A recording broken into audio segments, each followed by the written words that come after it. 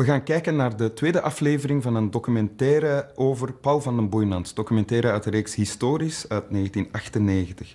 Paul van den Boeinans had een grote aantrekkingskracht, heeft hij nog altijd op mij. Ik, als ik naar hem kijk, blijf ik kijken. En dat heeft onder andere te maken, denk ik, met het feit dat hij uh, een, een, vrije vogel was. Iemand die zich niet door anderen de wet liet dicteren, maar die zelf bepaalde wat de regels van het spel waren. Wat een kwaliteit is Alleen in het geval van een politicus die macht heeft en dingen kan doen gebeuren, uh, kan dat ook misgaan. Zeker als de politicus in kwestie gaat denken dat de wetten die voor alle andere mensen gelden, dat die iets minder voor hem gelden. Wat bij Van den Boeinans toch wel een beetje het geval was.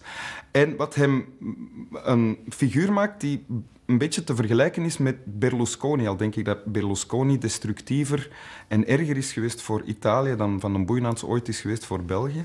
Maar het zit er ook wel in, die vergelijking. Uh, maar wat ook heel interessant is, vind ik de theaterman van den Boeinans, hoe die omgaat met kritiek. Hij neemt kritiek eigenlijk nooit ernstig, laat het nooit binnenkomen. Ofwel lacht hij het weg, ofwel gaat hij heel agressief in de tegenaanval. Hij gaat nooit echt in op argumenten, weerlegt geen enkel bewijs. Hij haalt het allemaal vanuit zijn energie.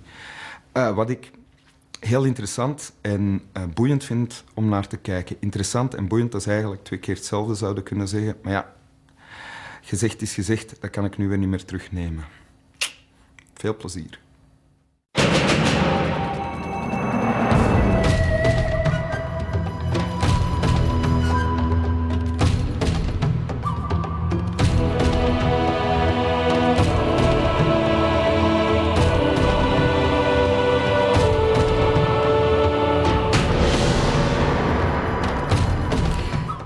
Te veel of te veel is tro. Als er één uitspraak van Paul van den Boeinans de tijd zal doorstaan, dan is het waarschijnlijk dat ene zinnetje. En tro is te veel is ook deel 2 van onze historie over VDB. Een hele goede avond. Vorige week zag u hoe de slagerszoon tot premier opklom en hoe hij zich na de val van zijn regering bezighield met de gemeentepolitiek in Brussel. En daar pikken we in, in het begin van de jaren 70. Van den Boeinans werd minister van Defensie. Hij gaf op die post miljarden uit en er werd gefluisterd over smeergeld. Het Hoogcomité van Toezicht wilde een onderzoek openen tegen hem en VDB moest vluchten uit zijn ministerstoel. Trouwens, behalve politicus was VDB ook zakenman, baas van een vleesimperium. En ook Dieke Mul riep vragen op. De naam van VDB werd alsmaar vaker genoemd in allerlei schandalen. Wij kijken vanavond samen met Van den Boeinant zelf terug op deze turbulente jaren van zijn carrière. In het tweede en laatste deel van de VDB-story. De regering spreekt er niet veel over, maar de regering doet en heeft de besparingen reeds gedaan. Andere vraag? Wat dan een mens toch kan veranderen. Het zou niet nodig zijn indien er geen fiscale fraude bestond. Ja, het probleem van de fiscale fraude is ontegensprekelijk een bestaand probleem. Men heeft over de fiscale fraude veel geschreven en veel gesproken. Men heeft allerlei cijfers wereldkundig gemaakt. Komt het op het scherm in de... Uit... hebben zeer veel kwaliteiten. Maar de fiscale... Dat is wellicht niet de grootste. Wij weten allemaal, onze landgenoten hebben zeer veel kwaliteiten. Maar de fiscale oprechtheid en de fiscale moed van onze landgenoten is wellicht niet de grootste hunner kwaliteiten.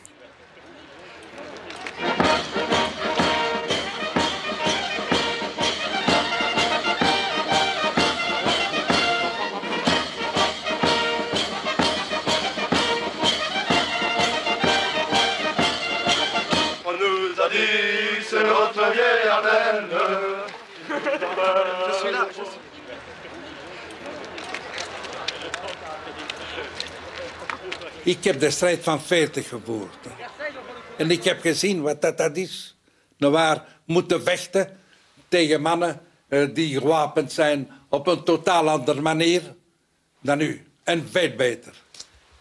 Ten tweede, ik heb vastgesteld dat wanneer ik minister ben geworden van verdediging, van defensie, dat België niet beantwoordde aan de eisen van de NATO, waaraan dat wij ons hadden verbonden. En ik heb dus het nodig materiaal aangekocht. Ik ben daar fier over. En ik aas er geen enkele ogenblikken van te zeggen dat ik mijn plicht heb gedaan.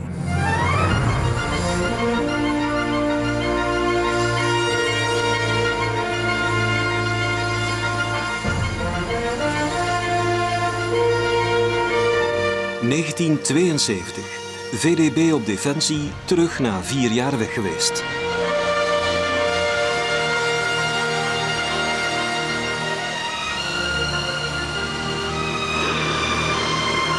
VDB vliegt erin, sneller dan het geluid. Defensie is maar een klein departement. Hij mag er zijn gang gaan.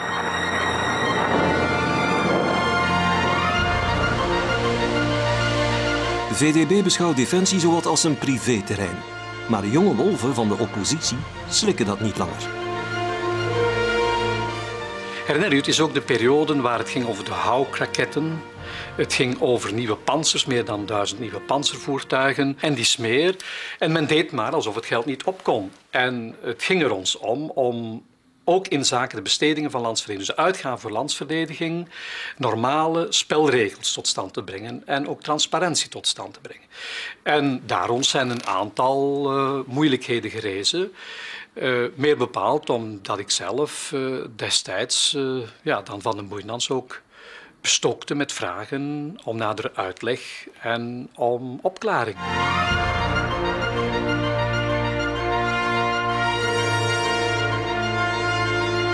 Crisis of geen crisis, in de bijna acht jaren dat VDB op defensie zit, koopt het leger voor honderden miljarden wapens en materiaal.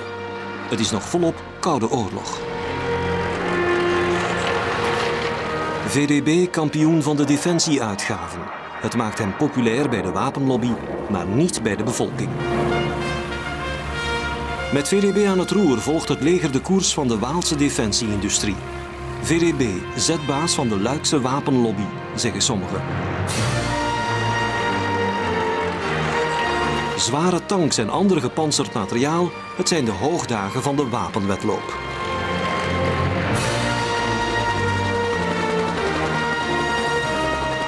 Feit is dat VDB op landsverdediging belandde op voorspraak van de Waalse socialisten om economische compensaties naar Wallonië te doen vloeien. Want Vlaanderen kreeg de havens, dus Wallonië defensie.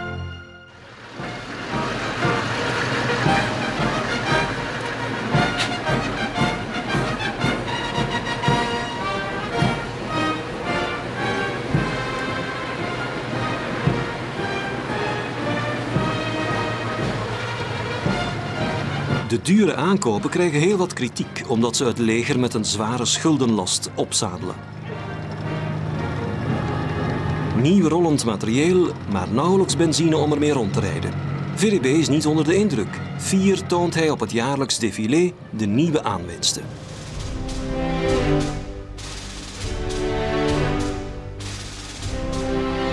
VDB wil de dienstplicht hervormen. Geen uitstel meer, voortaan iedereen soldaat op 18 jaar.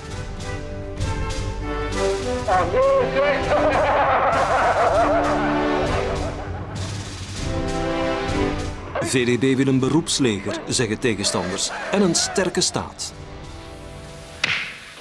Het is juist eh, tegen het beroepsleger dat ik strijd. En indien ik een zeker aantal voorstellen doe, dan is het om het beroepsleger te vermijden. Maar de scholieren denken daar anders over.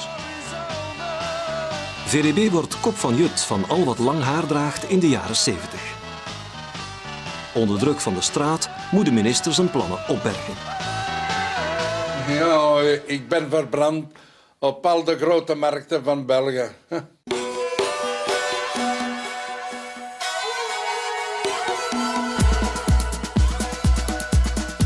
Eind jaren 70 komt VDB zwaar onder vuur te liggen. Zeker wanneer hij para's op manoeuvre stuurt naar Zaire op het ogenblik dat daar onlusten uitbreken tegen het corrupte Mobutu-regime. De oppositie ruikt onraad. Ik herinner me nog zeer levendig de geschiedenis rond de paras die men zogezegd op oefening stuurde naar Zaire. Maar eigenlijk was het de bedoeling van de Boinans om de paras permanent daar te houden, om het Mobutu-regime te ondersteunen. Alleen gaf hij dat niet toe. Maar het schijnt dat het, uh, die manoeuvres, dat eigenlijk maar de officiële versie is en dat de paras wel degelijk gestuurd zijn om uh, blanken te evacueren bij mogelijk, uh, mogelijk oproer. Heeft een officier dat gezegd? Het schijnt ja, maar heeft een officier dat gezegd? Nee. Ah, goed. Ah, wel, dan moet je dat ook niet zeggen. En indien dat u een officier kent die dat heeft gezegd, dan zult je hem nou herkenbaar maken. Wat is maar dat voor iets? Dat, ik zeg, dat is onredelijk. Onredelijk. Het is precies dat, dat de oorlog zo voor de, voor de deur staat. Enfin, alors, messieurs, soyons sérieux. Je suis venu parce que j'ai appris que vous étiez ici, que je ne voulais pas vous laisser frigorifier. Mais enfin, soyons raisonnables, on a déjà assez de problèmes ici. VDB ontkent, maar de oppositie houdt vol. Het was omdat ik in het bezit ben gekomen van een geheim legerdocument waarin dat zwart op wit stond dat ik het geweten heb. Ik ben ervan overtuigd dat in, indien ik destijds uh, dat niet aan het licht had gebracht en hem had laten voelen dat, dat we meer wisten van zijn geheimere, uh, niet openbaar gemaakte bedoelingen, dat hij daarmee was doorgegaan.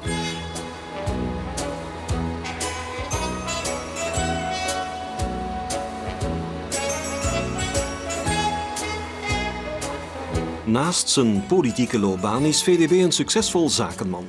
Zijn firma D'accord van D'accord Akkoord koopt en verkoopt jaarlijks voor honderden miljoenen vleeswaren.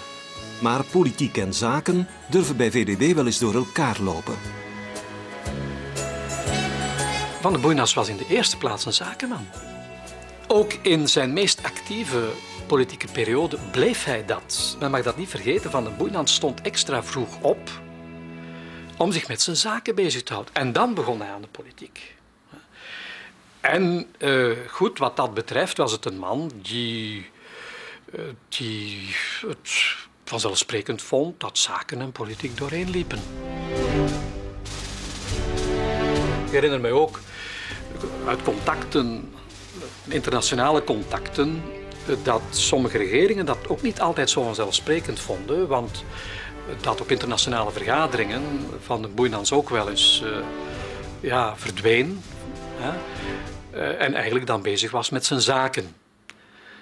Maar voor hem ja, was dat blijkbaar normaal.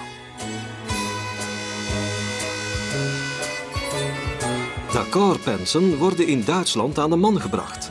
Met een foto van VDB als premier. We gaan dan een keer eens en voor goed, goed afhandelen. Hè? Wie denkt u dat paté of esper of saucissen van Van den Boeienans zou hebben aangekocht omdat hij eerste minister was of dat hij minister was. Maar van advocaten die dankzij het feit, dankzij het feit dat zij minister van Justitie zijn geworden of zijn geweest, hun cliëntelen vergroten. Daar spreekt nooit niemand over. Notarissen, hetzelfde, daar spreekt nooit niemand Maar dat een bedehouwer, een spekslager, nou waar in zijn fabriek, nou waar eerste minister is geworden. Ah, dat is het probleem. Ik ken al. Zou uw vrouw uh, est gaan kopen omdat het uh, een politieke aanhanger is? Dat houdt geen steek, meneer. Dat houdt geen steek. Men koopt iets voor de kwaliteit en voor de prijs en voor niets anders. Geen gewiekster onderhandelaar dan VDB. Zakenlui en politieke tegenstanders kunnen daar vandaag nog van meespreken. Dat kan niemand hem afnemen dat hij keihard werkte, dat het ook een man met moed was. Hij had iets in zijn directe stijl dat mij ook aansprak. Het was een man die eenmaal, zoals een beestenkoopman, top zei. Hè? En die kende dat gebaar van, van thuis uit, om het zo te zeggen. Dan kon je ook op je twee oren slapen. Van een boeinans kon je dan werkelijk vertrouwen. Maar over zaken waarover geen afspraak bestonden, daar moest je ontzettend goed oppassen. Of van de boeinans, ja, die, die legde je in de luren. Voor mij is de grondwet geen vodje papier. En ik wil niet hebben dat morgen 11 oktober 78. Premier Leo Tindemans hangt zijn kap aan de haak. Om avonturen goed te praten in dit land. Daarmee rekening gehouden. Na de scheldwoorden en de beledigingen en de aanvallen die ik de laatste dagen heb moeten incasseren. Tot daar even nog de insinuaties hier op deze tribune. Zeg ik, voor mij is er maar één conclusie. Ik ga van deze tribune weg. Ik ga naar de koning en ik bied het ontslag van de regering aan. De CVP eist het premierschap op, maar geraakt er maar niet uit wie eerste minister moet worden. VDB wordt erbij geroepen om de brokken te lijmen. De onderhandelaars ontmoeten elkaar in zijn statige villa aan het Brusselse Terkamerenbos. Maar nu, dan moet je toegeven dat Van den Boeinans zich heeft uitgesloofd, letterlijk heeft uitgesloofd, omdat hij ervan overtuigd was dat dat in het landsbelang moest gebeuren. En daarvoor moest dan zijn zaken ook opzij voor een keertje, om te proberen dan Wilfried Martens als eerste minister te brengen. En toen dat niet lukte, uh, zelf dan een tijdelijk overgangskabinet heeft gevormd. Maar niet in de eerste plaats voor zichzelf. Daar ben ik getuige van geweest. Zijn bedoeling was werkelijk gemeend om Martens als eerste minister te brengen, maar die dat toen niet of nog niet kon aanvaarden. VDB springt in de bres en Wilfried Martens zal hem daar later dankbaar voor blijven. En ik doe het omdat ik het als mijn plicht aanzien, niet met illusies, niet uit naïviteit en uit, ook niet uit ambitie. En dat was dan de Van den Boeinans die, uh, die boven zichzelf uitgroeide als het ware. En dan echt de kwaliteiten vertoonden van de staatsman. En daarvoor had ik enige bewondering, dat geef ik toe.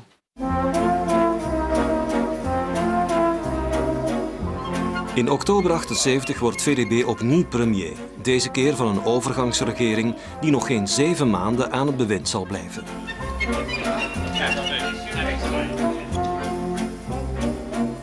Wel nu, dames en heren. Ik zou willen weten wat het dus betekent, die partijen van de meerderheid. En mijn vraag, meneer de eerste minister, of de minister van Landsverdediging voor de kolonels van de junta is gezweken. Dat zou ik willen weten, meneer de eerste minister.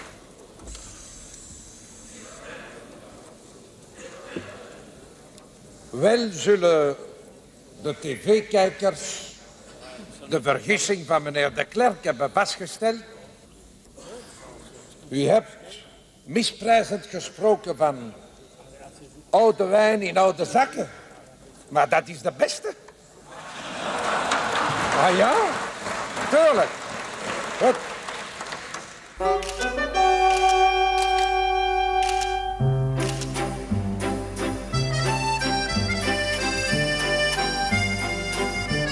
In april 79, na een crisis van meer dan 100 dagen, maakt Wilfried Martens een opwachting in de Landermontstraat en mag hij op de foto met zijn eerste regering.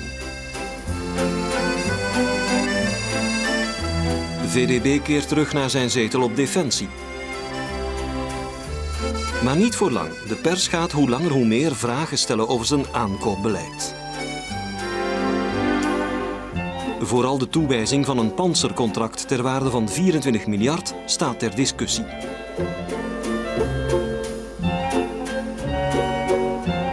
De firma Asco zou daarbij zijn bevoordeligd. Dit bedrijf heeft in de jaren dat VDB op defensie zat zijn omzet vertienvoudigd. Asco wordt geleid door een VDB-bekende, Roger Boas.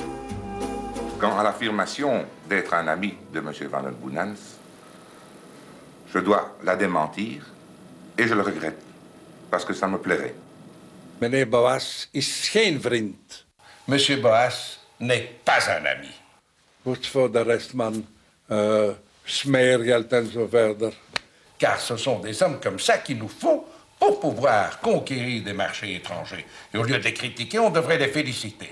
Maar meneer Boas is een man voor wie ik respect en bewondering heb, omdat het werkelijk een zeer goede zakenman is en die ons in de buitenwereld waar werkelijk veel heeft laten exporteren. Kritiek is niet besteed aan VDB.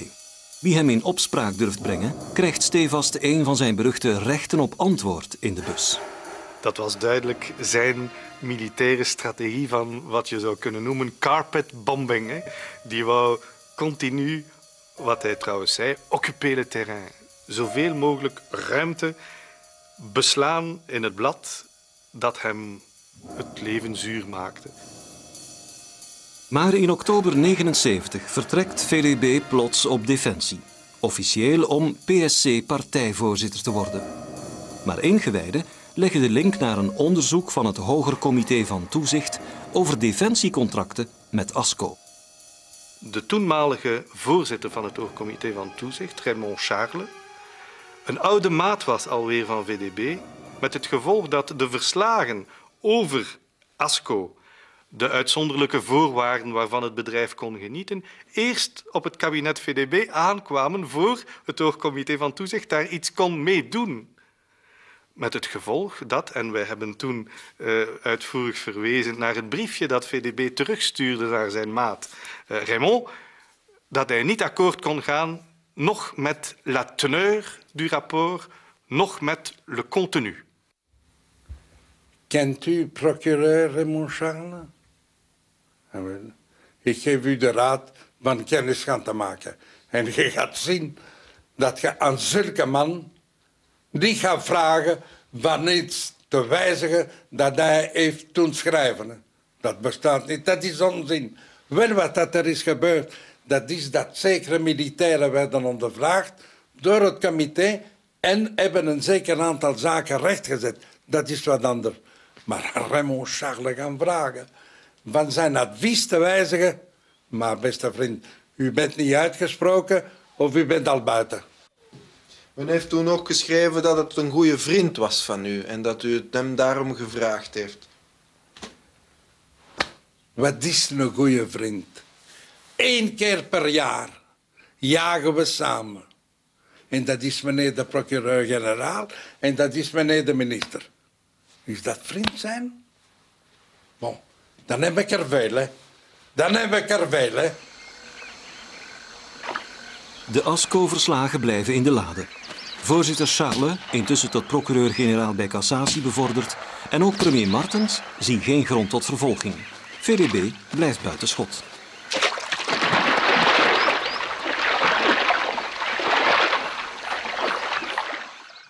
Mais vous savez, comme je dis tout à l'heure, les vieux crocodiles, hein, pour les abattre, il faut tirer juste dans l'œil. Hein. Sinon, vous les ratez. Men liet in feite begaan. En men muilkorfde het Rekenhof, een parlementaire instelling. Het Oogcomité van Toezicht, rechtstreeks ressorterend onder de eerste minister, toenmalig Wilfried Martens. Men heeft ze gewoon gemuilkorfd. Ons hebben ze met een eh, een batterij rechten van antwoord proberen platleggen. Dus het was niet in de tijdsgeest om een krokodil, lijkt VDB, uh, te schieten. VDB lijkt ongenaakbaar. Niemand in de politieke wereld die hem durft aan te pakken. Maar begin jaren 80 komt daar verandering in. Dan weigert de koning hem als formateur aan te duiden na de val van de regering Martens IV.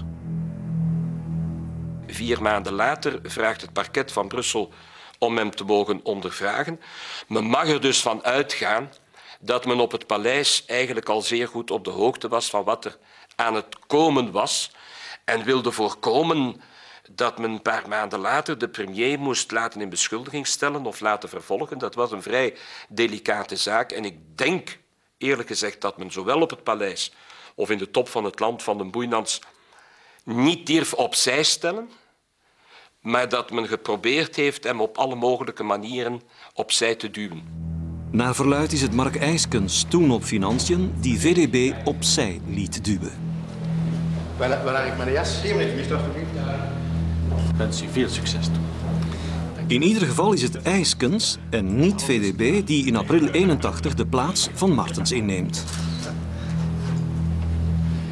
Tot straks, ja.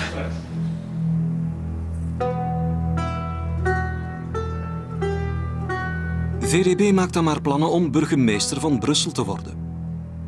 Maar dat bekomt hem slecht. Brussel is traditioneel een logeburcht. Toeval of niet, vanaf mei 81 begint de pers uit te pakken met een lange reeks schandalen waarin telkens de naam van VDB wordt vermeld. Zo zou VDB extreem rechts hebben gesteund via de beruchte zwarte baron de Bonvoisin. Is dat de volledige lijst, want anders ga ik ze een beetje uh, bijbrengen, hè, want dat is uh, veel meer dan dat. Geef de lijst, geef de lijst.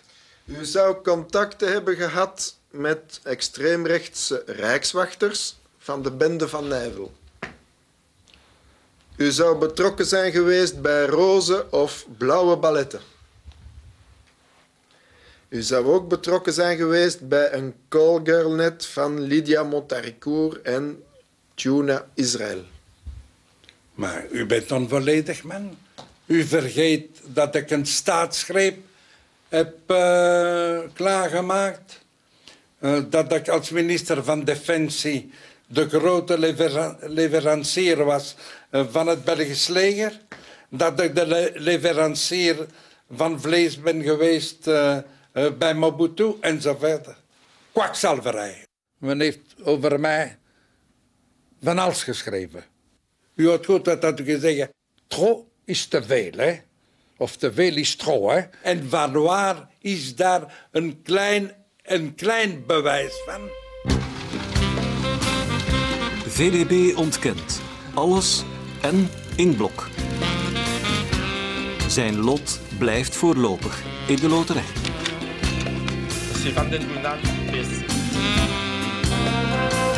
De eerste klap komt van de man in de straat.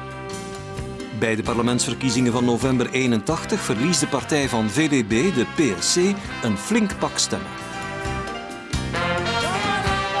Nog nooit hebben de christendemocraten sinds de Tweede Wereldoorlog zo'n zware afstraffing gekregen. VDB moet aftreden als partijvoorzitter. Bij het buitengaan loopt hij tegen een betonnen pijler. J'ai donc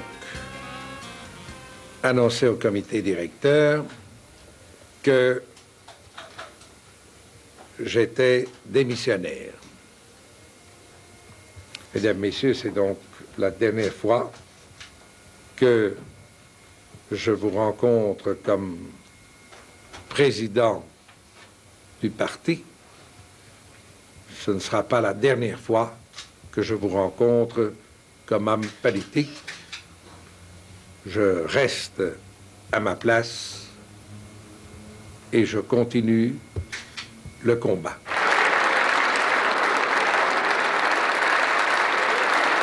Applaus wanneer VDB in 85 het parlement vaarwel zegt. Mesdames, messieurs. Maar dezelfde vergadering heeft drie jaar voordien zijn parlementaire onschendbaarheid opgeheven. VDB wordt verdacht van valsheid in geschriften, belastingontduiking en fiscale fraude van minstens 200 miljoen frank. J'ai peut-être été imprévoyant ou négligent, ou négligent, mais je ne suis coupable, en tout cas, ni de fraude fiscale, ni encore bien davantage d'avoir participé à la fraude Dit was waarschijnlijk de enige plek waar de krokodil te treffen was, natuurlijk. In de zin dat ook andere groten uh, uit de aanhalingstekens misdaadgeschiedenis of VDB behoort uiteindelijk niet uh, tot de grote misdadigers. Maar in elk geval, ook zij zijn niet gepakt door wat ze in de Verenigde Staten de G-man, de government man noemen, zijnde de, de normale speurders. Maar hij is gepakt door de taxman. Like Al Capone trouwens gepakt door de fiscus. Begin 86 verschijnt een aangeslagen VDB voor de rechter. Hij krijgt twee jaar voorwaardelijk wegens fraude en één jaar met uitstel wegens schriftvervalsing. Daarbovenop een fikse geldboete en een bolwassing van de rechter. Hij moet toen gezegd hebben, hè, meneer Van den Boeinans, u bent een fraudeur in hart en nieren, een verstokt fraudeur. U die jarenlang de wet heeft opgelegd aan anderen, vooral u had ze in de praktijk moeten brengen. En zegt hij op een bepaald ogenblik, uh, we zijn, wij als rechtbank, nog vrij uh, mild geweest, want u mag blij zijn dat de deuren van de gevangenis van Sint-Gilles voor u gesloten blijven. Eh, wij hadden veel verder kunnen gaan. U kan zich inbeelden, van een Boeinans, eh, de peetvader die door iedereen, indien niet gerespecteerd, gevreesd was, die daar eh, gekapiteld wordt door Gotto Garme, een rechter in eerste aanleg. Dus dat moet hem in zijn eer toch nogal gekraakt hebben. In beroep wordt de straf bevestigd. Voor sommigen had men verder kunnen gaan. Het is een feit, zij zijn niet ver gegaan. Ironisch in die niet sarcastisch zinnetje van de procureur-generaal. Wij stellen eigenlijk de vraag niet naar de herkomst van al deze gelden. L'origine de ces avoirs. Al wat dat ik weet, dat is dat ik acht jaar op defensie heb gezeten en dat men nooit heeft kunnen bewijzen dat er één frank smeergeld is geweest. Anderen na twee jaar, tweeënhalf jaar hebben problemen gehad. Dat is hun zaak, dat is de mijne niet. Je peux vous dire que je ne suis associé en rien à un quelconque faux, à quelconque usage de faux, et que le mot corruption me révulse. Laat mij een zaak goed verduidelijken. Met mijn fiscaal probleem heeft justitie gedurende drie jaar, drie jaar, als onderzocht. Ik werd 125 uur onderhoord. Ongeveer 150 uitzoekingen. Ik weet niet hoeveel mensen worden, werden ondervraagd. En na tweeënhalf jaar heb ik aan de rechter gezegd... meneer de rechter, ik weet wat dat u zoekt. Maar u gaat nooit iets vinden, want daar is niets te vinden. En de rechter heeft mij geantwoord, de onderzoeksrechter heeft mij geantwoord. Dat is juist, meneer Van den Boynans. U zegt gelijk vele Belgen, u hebt de fiscus wat willen arrangeren, maar voor de rest is er niets.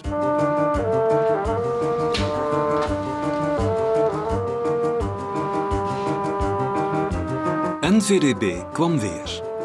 In 88 waagt hij een nieuwe worp naar de burgemeesterscherp van Brussel.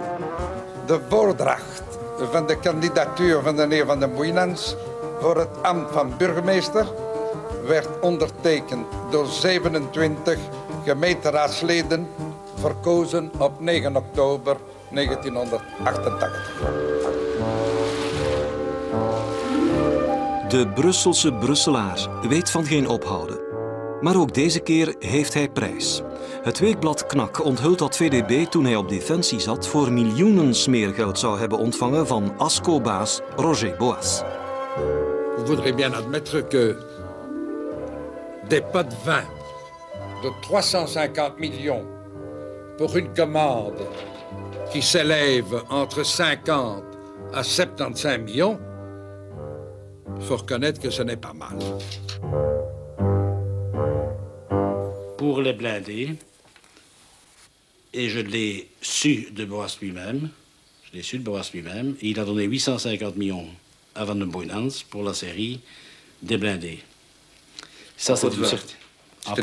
Oui, oui.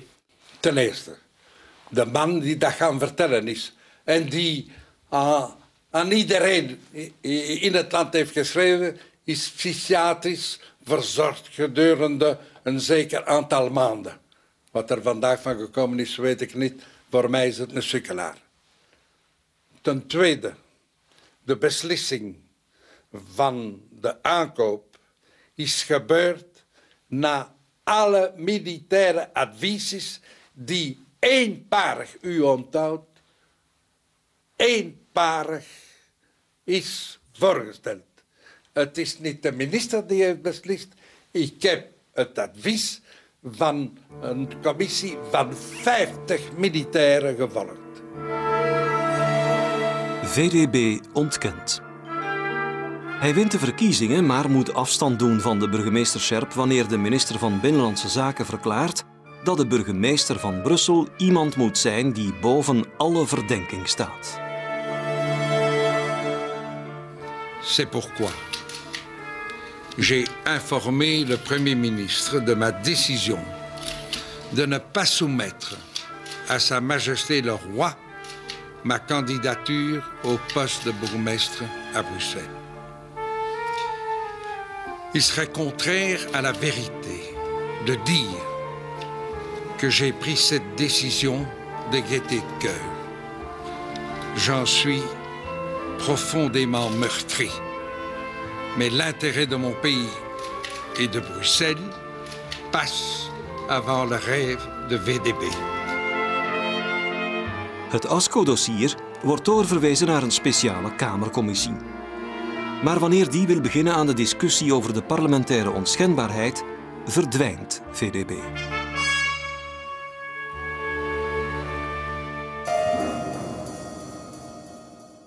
Qui m'a enlevé Qui m'a enlevé Mon lodin déchiré, ma pipe. Résultat des courses, je suis resté en chemise et en caleçon.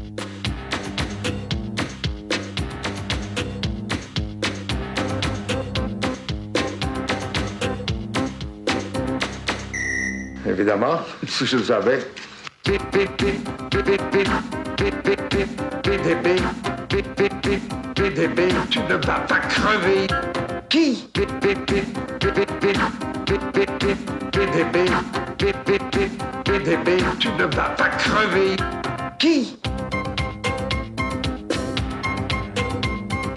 Il voulait de l'argent, de la fortune de VDB.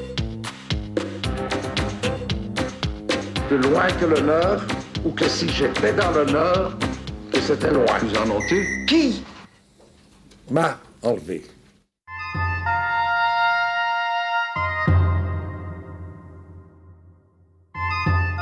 VDB blijft spoorloos.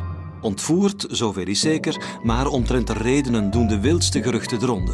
De familie heeft het er moeilijk mee. We zijn diep ontroerd door de duizenden bewijzen van sympathie. Nochtans, spijt het ons dat sommigen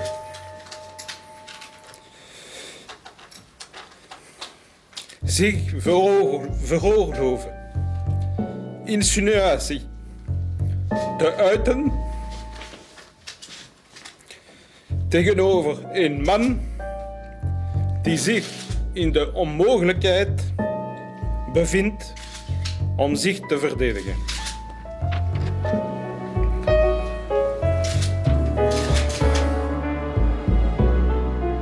Het hele land houdt zijn adem in. Maar dan, na een maand, duikt VDB plots weer op.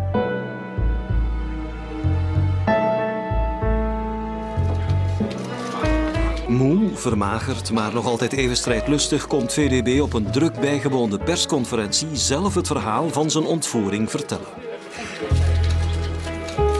Buitenlandse journalisten kunnen hun ogen nauwelijks geloven. Hier ziet weer de oude VDB. Plus d'éclair, s'il vous plaît. Ik heb tegen mijn eigen gevochten. Je me suis battu contre moi-même. J'ai pensé à ceux, à tous ceux que je voulais absolument revoir. J'ai pensé à tout ce que je pourrais encore faire. J'ai dit, et je vous l'ai dit comme j'ai dit, parce que je me suis dit la phrase à mi-voix. VDB, tu ne vas pas crever ici. Ik herhaal, het is tegen mijn eigen dat ik heb. Om de moed en de energie te vinden om blijven te staan. En ze hebben van mij geen, geen traan gekregen. Zijn vrijlating kostte 83 miljoen. VDB staat weer in het middelpunt van de belangstelling. Ik heb geluk gehad. Ik heb geluk gehad dat ik er zo ben uitgekomen. Godzijdank. Dat is vergeten. Uh, ik voel me goed. Van de Boendans vind ik wel een geweldig persoon als zakenman. Hoop wel als marketingstudent later ook wel zo'n geweldige gast te worden. Wat een fantastische zaak. Ik heb een foto van op mijn kamer hangen. Ja, gewoon geweldig, hè? Uh, tof. Ik heb hem op een kamer hangen, op een poster. Echt? Ja, ja, ik ook. Ja, echt een hele toffe gast en al. Als ik u vertel dat er eh, jongeren vooral zijn die posters op hun kamer hangen van u, vindt u Jonge dat vreemd? meisjes ook? Jonge meisjes ook, denk ik. Ja. Ah, wel. dat is zeer sympathiek. eh, eh, voor een man die niet meer jong is, is het toch eh, aangenaam te zien dat de jongen een waarde rekening mee houden. Dat is, dat is zeer sympathiek, dat wist ik niet. Maar, eh, en, dus ook jonge meisjes. Ik denk het wel, ja. Eh, Het is prima. VDB mag niet klagen. Terwijl hij spoorloos was, heeft het parlement zijn onschendbaarheid in de zaak ASCO niet willen opheffen. En de hoorzitting voor de onderzoekscommissie in zaken banditisme verloopt als een fluitje van een cent. Voilà. Donc, euh, je jure de parler sans haine et Je jure de parler sans haine et sans crainte, et sans crainte de dire toute la de vérité dire toute la vérité et rien que la vérité. que la vérité. Dat was door de ganse commissie, ik reken mijzelf daarbij, eigenlijk niet goed voorbereid. Niet zo goed voorbereid als de manier waarop men nu ondervragingen doet in onderzoekscommissies. Met het gevolg dat Van den Boeinans die daar blijkbaar wel zeer goed had voorbereid, die blijkbaar ook contacten had, en dat was, hij was een politicus, dus die contacten had met sommige mensen binnen die commissie, heeft daar toen inderdaad eh, dat op een eh, onnavolgbare manier gedaan. Maar door het feit dat die feiten nooit degelijk onderzocht zijn, blijft opnieuw die, die waas hangen. En dat is niet goed voor niemand. Nog voor het onderzoek, nog voor de politiek die eigenlijk toch zou moeten weten wat is er nu precies gebeurd. Maar ook niet voor Van den Boeinans die altijd, wat hij ook mag doen, met die zweem blijft hangen van zou het eventueel niet kunnen waar geweest zijn.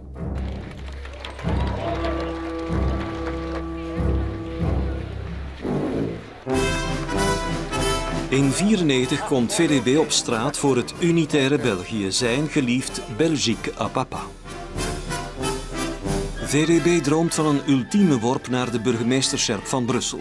Hij is 75 en kreeg herstel in eer en rechten voor zijn veroordeling in zaken fiscale fraude. Derde keer.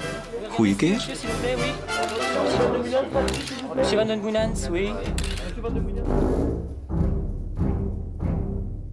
Bent wel een echte Brusselaar, hè? Wat, Ik ben een echte Brusselaar. wat is dat eigenlijk, een Brusselaar? Een Brusselaar, ah, wel, wij zijn twee ketchers van Brussel. We kunnen geen definitie geven.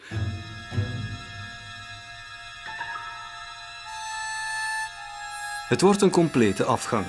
PSC en CVP keren hun vroegere voorzitter de rug toe. Zijn kiezers laten hem in de steek. VDB wordt met een paar duizend stemmen naar huis gestuurd. Ik heb die strijd verloren. Ik had inderdaad zeer graag burgemeester van Brussel geworden. En ik heb de pretentie te zeggen dat ik een zeker aantal zaken in Brussel had kunnen veranderen. Maar enfin bon, het is zo. Gedaan.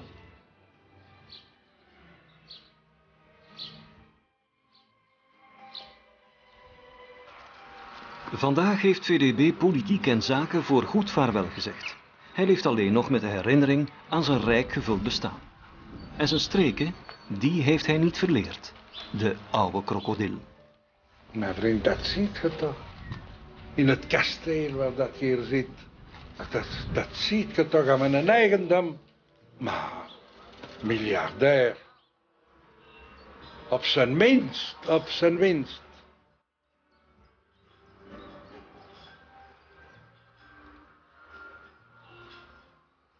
Moet er een standbeeld worden gezet voor VDB? Laat ons ernstig blijven, vriend.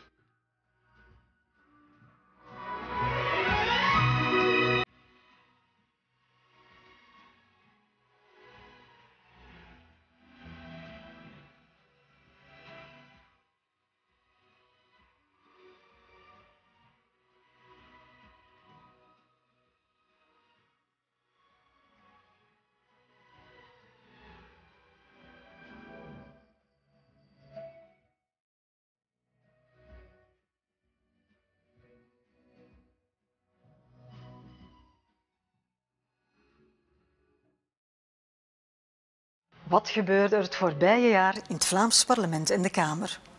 Villa Politica vat de meest memorabele momenten voor u samen. Villa Politica. Vanavond op Canvas.